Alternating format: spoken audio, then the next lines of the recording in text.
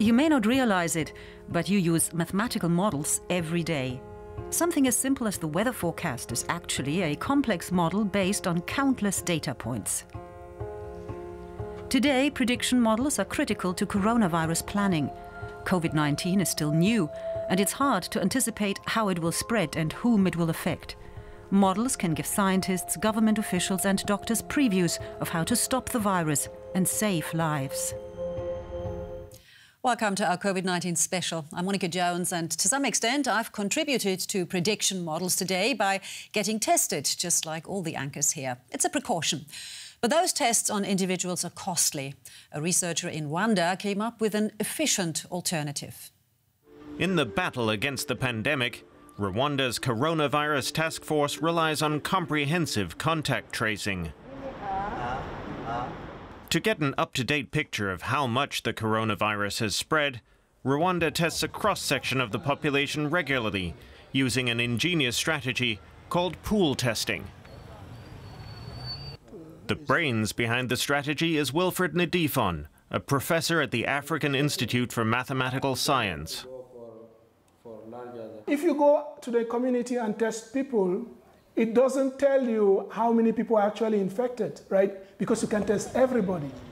So you always sample.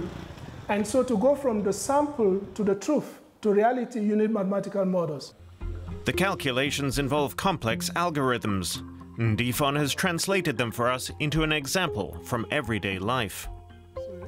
The idea behind pool testing is really simple. So imagine that you have nine cups of beans and you are told that one of those cups has bad beans. And in order to check which cup has the bad beans, you must cook the beans and taste. So you might find that the beans uh, taste bitter. Those who have cooked beans, they know that it takes a long time for beans to get uh, well cooked. And so you use a lot of gas if you're doing nine, cooking nine pots of beans. To avoid this effort, the mathematician resorts to a simple yet efficient trick. He combines bean samples from different pots. If all the beans in this pool are good, he no longer has to test each pot individually. Only if there are bitter beans in the sample must he perform additional tests. The principle can be applied any time groups are tested, and it can be used to combat COVID-19. In Rwanda, sets of 10 and 20 samples are combined and tested simultaneously. If the pool test result is negative, all the subjects in the pooled sample are indicated as not having COVID-19.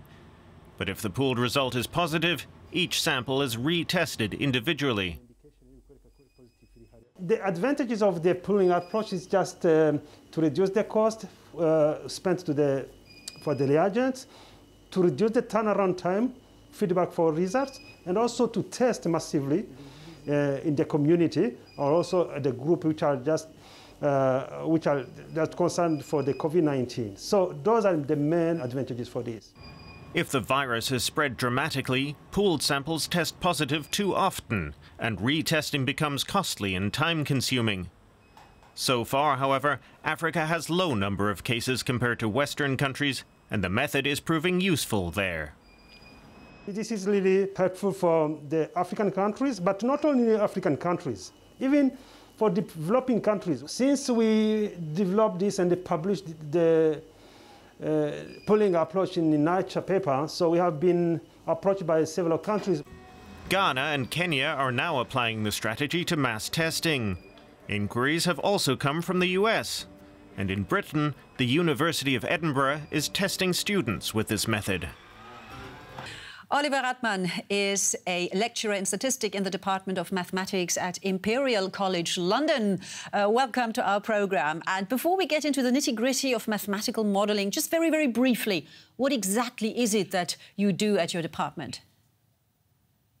Hi, thanks for having me today. So I'm part of the uh, Imperial Co um, College London COVID-19 response team.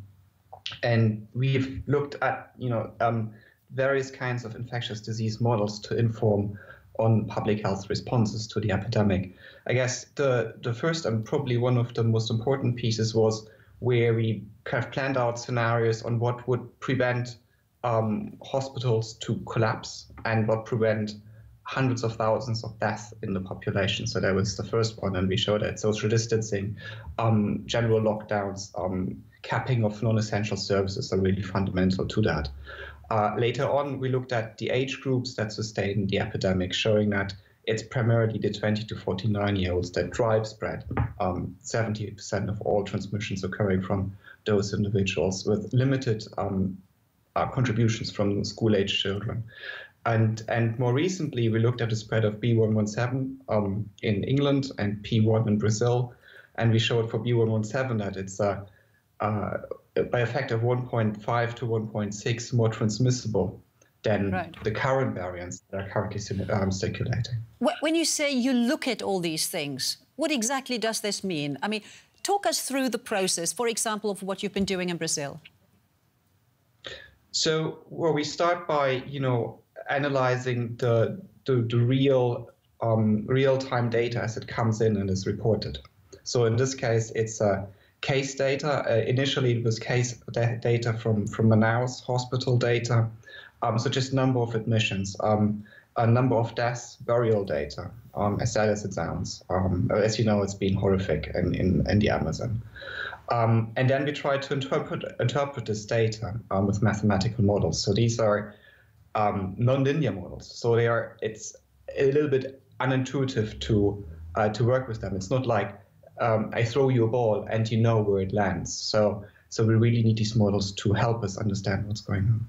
And, and how do you translate those models that are not linear uh, for policymakers to understand what's going on so that they can decide on specific measures? Well, we show, you know, the um, the fits to the data um, itself, along with 95% uh, credible intervals to measure uncertainty. We show forecasts, you know, various what-if scenarios, and there is no uh, single forecast, right? Um, um, but but there are different scenarios. What would happen if you know if mobility were to reduce in the population? What you know and, and other things. Um, and um, and then based on that, you know, based on that communication and verification from several teams, different analysis from different regions, um, ultimately decisions are being made at a policy level. I mean, let, us uh, take a con concrete example because here in Germany, uh, there's a lot of discussions right now. Politicians are talking about how to end the lockdown. Now, if German Chancellor Angela Merkel came to you and asked you what happens uh, to the infection rate if we were to open schools and restaurants next week, could you provide her with a model? Oh, you know, um, uh, yes, so that is what we've been doing like day in and day out for the past year for the uh, British government. Um, and it's just not us, but it's uh, uh, more than 10 other modeling teams and institutions across the UK who come together and feedback into this. And, and so it's a, uh, um, it's a very busy, it's been a very busy period. I bet. Uh, but are they actually then taking, uh, well, you're not giving advice, you give them a model. So uh, they still have to sort of figure out what it means and make the right policy decision. Uh, can you support them well, somehow? We may be trying to make this sorry to interrupt, but we're trying to really make this as, as transparent and, and easily accessible as possible. So you know, we give them graphs and we give timelines and, and projections. Um, and confidence is built by having very similar answers from very different types of models. Um, and being also transparent about the assumptions that undergo, you know, and underline all these models. All right, so it, you're inexpensible these days, certainly, but when the pandemic is over, if it's over one day, what models would you like to work on? Well, you know, like COVID-19 is not the only infectious disease out there in the world. In fact, like I'm, you know, primarily working on, on HIV. There's, uh, uh, you know, many other diseases. Um, you've heard about avian influenza and the first cases, you know, first human transmissions um, um, already happened this year. So uh, there's no shortage of problems to, to work on. Uh, I'm afraid you're right, yes. Oliver Ratmann from uh, Imperial College in London. Thank you so much for your time. Switching cognitive gears now. You'll see what I mean. Over to Derek. How much of the population has to be vaccinated before we reach herd immunity? Everyone wants to know this number, which from the start has generally been estimated at roughly 70% of the population. Um, the problem is that pinning it down exactly isn't possible yet because there's still so many moving parts in this pandemic. Um, two of the most important factors that can have a major impact on herd protection are still big question marks. Um, the first is the extent to which people who've been vaccinated can still potentially catch and transmit the disease even if they never develop symptoms themselves. Um, the data we have so far on this aspect is, is quite positive. Evidence from a couple of larger studies now in peer review indicates that at least some approved vaccines appear to help lower a recipient's chances of being a transmitter after being vaccinated, maybe dramatically. The second factor that plays a key role in how soon we reach herd protection involves variants. Um, when the virus mutates to become more transmissible, people who get it grow more contagious, so they give it to more people on average. Um, and that makes achieving herd protection more difficult. Um, another potentially problematic facet of this problem is that, that variants can also mutate in ways that lower existing immune protection to SARS CoV 2, whether for those who've been vaccinated or for those who've had the disease. So, variants could turn people we thought were protected back into potential infectors. Um, despite the imponderables, uh, many see falling case numbers in countries with high vaccination rates as evidence that herd protection is already beginning to influence the course of the pandemic. But we won't really know we have it until we get there. That's it. Thanks for watching.